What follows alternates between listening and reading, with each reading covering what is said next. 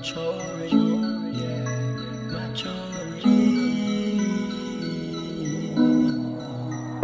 Gotta grow up, gotta get up to spiritual maturity. Cannot linger, no stick figure, that is my priority. Gotta listen to the ones with the high authority. It's the fivefold, yeah, the fivefold to get me where I need to be, yeah. Hello, everyone. I am your host, Anita Punchie Lewis. Thank you for tuning in and joining me on the Teach Me to Obey radio broadcast. Last week, I shared on the office of the apostle. I spoke on who is an apostle and gave examples of apostles who walked with Christ Jesus, the chief apostle.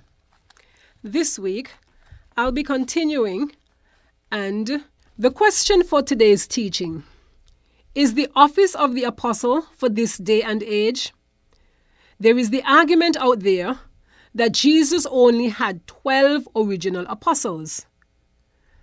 It is said that only those who saw and walked physically with Jesus during his life here on earth could be called to function as his apostles.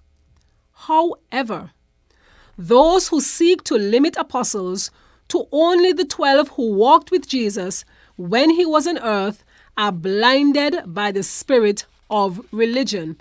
I'm repeating that.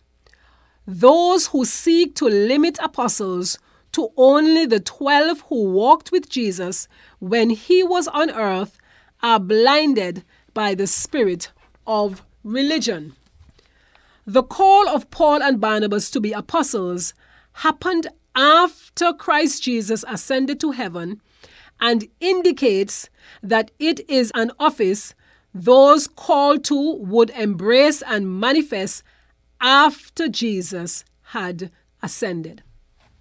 However, it must be stated all who are truly called to this office will receive a direct revelation of Christ Jesus as an incarnation of Elohim and the only fit sacrifice to take away the foundational sin of Adam and Eve as basis of restoring the kingdom they lost in due season. That revelation changes his or her worldview to the degree that whatever the apostle suffers for the testimony of Jesus is taken with all joy. The office of the apostle is for today and all ages until the church is reunited in a physical sense with his head Jesus, who is chief apostle sent by the Father from heaven. When Paul was given the blueprint of how Jesus wanted his church to function, the office of apostle featured prominently in the governmental pattern revealed into scriptures. Ephesians 4 11 to 12. And he gave some to be, and he gave some apostles, and some prophets, and some evangelists, and some pastors and teachers, for the perfecting of the saints, for the work of the ministry, for the edifying of the body of Christ. The other scripture is 1 Corinthians 12, verses 28 to 29. And God has appointed these in the church first apostles, second prophets, third teachers, after that miracles, then gifts of healings, helps, administration, varieties of tongues. Are all apostles? Are all prophets? Are all teachers? Are all workers of miracles? Both epistles or letters were written several years after the ascension of Christ Jesus as part of the blueprint for the kingdom church. Therefore, after Christ Jesus returned to heaven, these two letters were written stating that God Himself has given apostles to the body of Christ, not mere pastors alone. Let us now take a look at some of those called to the office of apostle after the ascension of Jesus Christ. The Bible is clear that there were various people called and sent out as apostles apart from the original 12. These include, but are not limited to 1. Matthias, who was chosen by using lots as the 11 disciples prayed for the replacement of Judas. Now, Judas, we know, was the one who betrayed Jesus. So they were replacing Judas because they only had 11, so they wanted 12, so they wanted one to replace Judas. Acts chapter 1, verses 23 to 26 reads They proposed two candidates, Joseph, who is also called Barsabas the Just, and Matthias. They all prayed, Lord Yahweh, you know the heart of every man. Please give us clear revelation to know which of these two men you have chosen to be an apostle and take Judas's place because he renounced his apostleship to go where he belonged. They cast lots and determined that Matthias was the Lord's choice, so he was added to the 11 apostles. So just now I gave Matthias, so now we have Barnabas and Saul. Acts 13, verses 1 to 4. In the church at Antioch, there were a number of prophets and teachers of the word, including Barnabas, Simeon from Niger, Lucius the Libyan, Manaen, the childhood companion of King Herod Antipas, and Saul. While they were worshipping as priests before the Lord in prayer and fasting, the Holy Spirit said, I have called Barnabas and Saul to do an important work for me. Now Release them to go and fulfill it. So after they had fasted and prayed, they laid hands on them and sent them off. So Saul and Barnabas and their assistant Mark, known as John, were directed by the Holy Spirit to go to Seleucia, and from there they sailed to Cyprus. When they finally arrived at Salamis, they went to the synagogues and declared the word of God. Before then, Barnabas was a son of consolation in the early church until consecration led him to sell off all of his assets to serve full time. Acts 4 36 to 37. In the same vein, Paul was arrested by Jesus on the road to Damascus and given an idea of what his assignment would be in Acts 9 1 to 19. So I'm here talking about various people called and sent out as apostles other than the original 12. So first we had Matthias, then Barnabas and Saul. Now we have Apollos. He was a disciple with limited understanding of the gospel, but later became a great apostle after he was perfected in knowledge by Priscilla and her husband Aquila. Acts 18, verses 24 to 28 reads a man named Apollos came to Ephesus. He was a Jew, born in Alexandria, Egypt, and a terrific speaker, eloquent and powerful in his preaching of the scriptures. He was well educated in the way of the Master and fiery in his enthusiasm. Apollos was accurate in everything he taught about Jesus, up to a point. But he only went as far as the baptism of John. He preached with power in the meeting place. When Priscilla and Aquila heard him, they took him aside and told him the rest of the story. When Apollos decided to go on to Achaia province, his Ephesian friends gave their blessing and wrote a letter of recommendation for him, urging the disciples there to welcome him with open arms. The welcome paid off. Apollos turned out to be a great help to those who had become believers through God's immense generosity. He was particularly effective in public debate with the Jews as he brought out proof after convincing proof from the scriptures that Jesus was, in fact, God's Messiah. Apollos later exerted great influence on many, so much that people compared him with Paul and Peter. 1 Corinthians 3, verses 1 to 8 and 21 to 23. And I read And I, brethren, could not speak to you as spiritual people, but as to carnal, as to babes in Christ. I fed you with milk and not with solid food, for until now you were not able to receive it. And even now you are still not able, for you are still carnal. For where there are envy, strife, and divisions among you, are you not carnal and behaving like mere men? For when one says, I am of Paul, and another, I am of Apollos, are you not carnal? Who then is Paul? And who is Apollos? But ministers through whom you believed, as the Lord gave to each one. I planted, Apollos watered, but God gave the increase.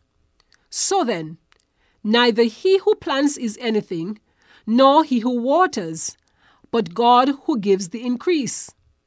Now he who plants and he who waters are one, and each one will receive his own reward according to his own labor. Therefore, let no one boast in men, for all things are yours, whether Paul or Apollos or Cephas, or the world or life or death, or things present to come, are all yours, and you are Christ, and Christ is God.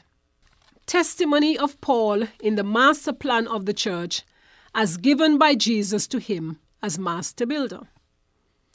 Beyond all that was said above, the same Paul, who the Protestant movement and its offspring rely upon to base their faith and practices, is the same vessel Yahweh used to outline in clear detail that the apostle is one of the fivefold offices given for perfection of saints so they can mature and do the work of ministry as the royal priesthood.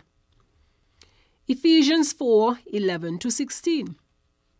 And he himself, and the he is referring to Jesus, and he himself gave some to be apostles, some prophets, some evangelists, and some pastors and teachers, for the equipping of the saints, for the work of ministry, for the edifying of the body of Christ, till we all come to the unity of the faith and of the knowledge of the Son of God, to a perfect man, to the measure of the stature of the fullness of Christ, that we should no longer be children, tossed to and fro, and carried about with every wind of doctrine by the trickery of men, in the cunning craftiness of deceitful plotting, but speaking the truth in love, may grow up in all things into Him who is the head, Christ, from whom the whole body, joined and knit together by what every joint supplies,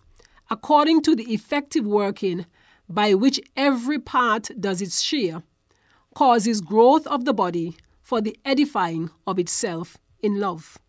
That was Ephesians 4 11 to 16 we have again 1 Corinthians chapter 12 verses 28 to 29 and God has appointed these in the church.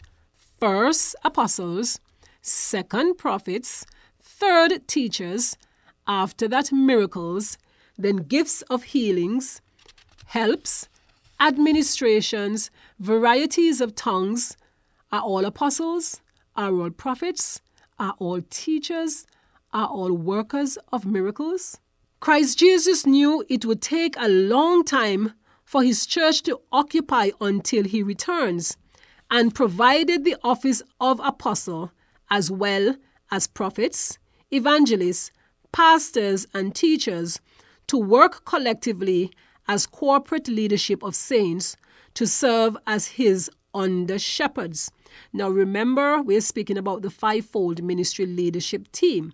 So I'm saying here that Christ Jesus gave these men or these servants, apostles, prophets, evangelists, pastors, and teachers to work effectively to equip the saints to serve as his Jesus under shepherds.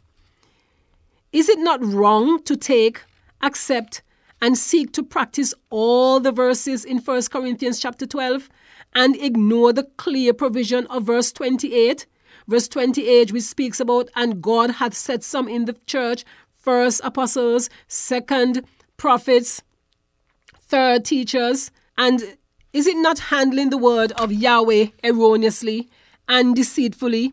To take and preach on everything in the epistle of Paul to the Ephesians as present truth for all ages and deliberately ignore Ephesians 4 11 to 16 as an organic whole concerning how the church can be perfected, radiant, and powerful? Oh, yes, it is wrong. On what authority will a denomination accept one, two, or three offices? For example, evangelist, pastor, and teacher, while rejecting or ignoring the two foundational ones, namely apostle and prophet. Because remember, 1 Corinthians 12 28 speaks about those whom God has appointed in the church first apostles and second prophets. So they're not supposed to be rejected or ignored when they are the foundational ones. When Christian religion took off as a fruit of the merger between Rome and a wing of the church, which was tired of persecution, one of the very first things it did was to abolish the two foundational offices of apostles and prophets. It was an intentional plan to take away the strength of the church. Ephesians 2, verses 18 to 22 reads For through him, him being Christ, Jesus, we both have access by one Spirit to the Father. Now, therefore, you are no longer strangers and foreigners, but fellow citizens with the saints and members of the household of God, having been built on the foundation of the apostles and prophets, Jesus Christ Himself being the chief cornerstone, in whom the whole building, being fitted together, grows into a holy temple in the Lord, in whom you also are being built together for a dwelling place of God in the Spirit. Andronicus and Junia. Again, we are talking about those who became apostles after Jesus Christ, after he ascended, that is. Andronicus and Junia. Many have sought to interpret this passage through various lenses. The ordinary meaning seems to suggest that they were elders in the faith and had been transitioned into apostolic office at this time. Romans 16, verse 7 reads Salute Andronicus and Junia, my kinsmen and my fellow prisoners, who are of note among the apostles, who also were in Christ before me. James, the half brother of Jesus, born to Joseph and Mary. James served the Lord and the early church with distinction. James was chair or moderator of the First Jerusalem Council in Acts 15 1 to 19 and gave the ruling regarding shutting down Judaizers who sought to hinder Gentiles from the gospel. Paul also acknowledged him as a man of stature in the church at Jerusalem. While Jesus was in his human or fleshly state, James, like other family members, was not called. His apostolic commission was received after the death, resurrection, and ascension of Christ Jesus.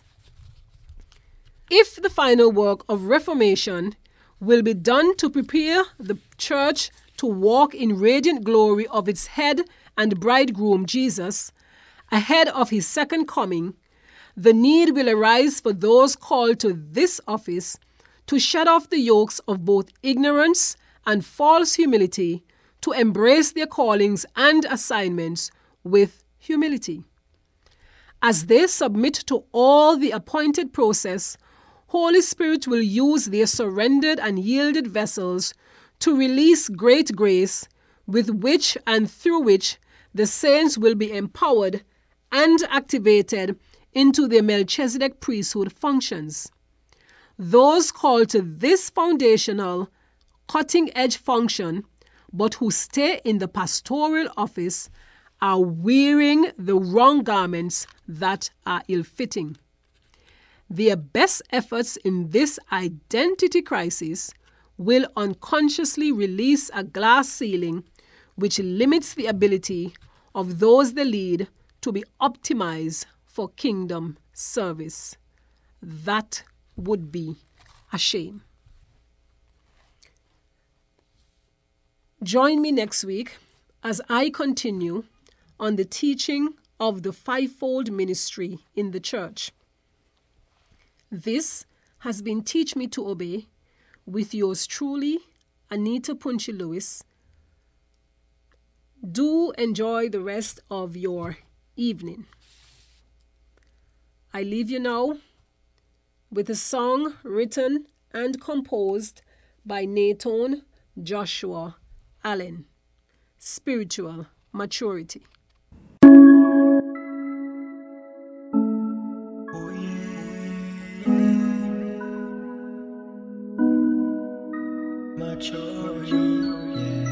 Gotta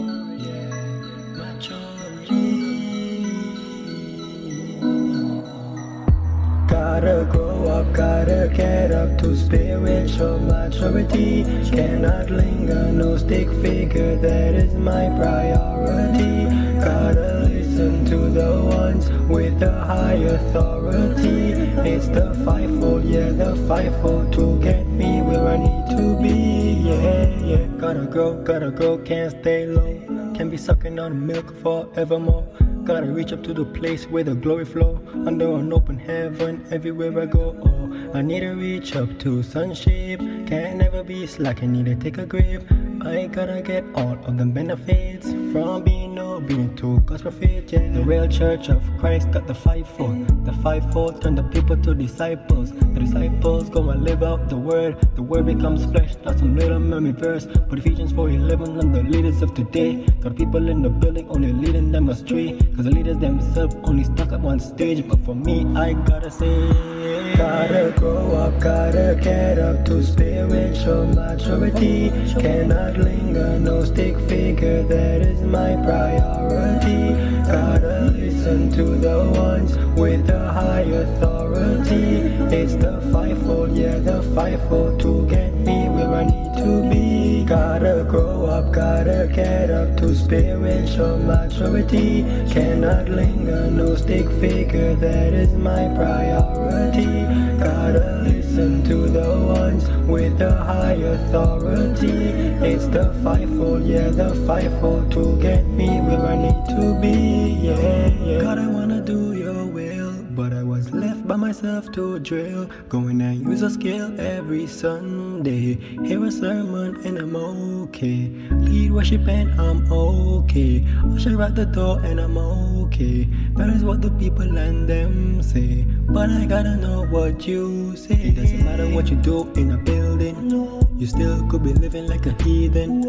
Fly on time at every meeting But at your bedside you ain't seeking me. Think you can do it by yourself? No, I gave these gifts just to help you reach to maturity. So you can soar like an eagle with me. Gotta grow up, gotta get up to spiritual maturity. Cannot linger, no stick figure, that is my priority. Gotta listen to the ones with the high authority.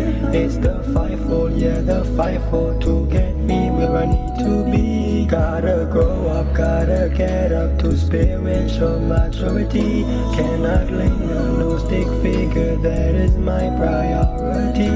Gotta listen to the ones with the high authority. It's the fivefold, yeah, the fivefold. To get me where I need to be, yeah, yeah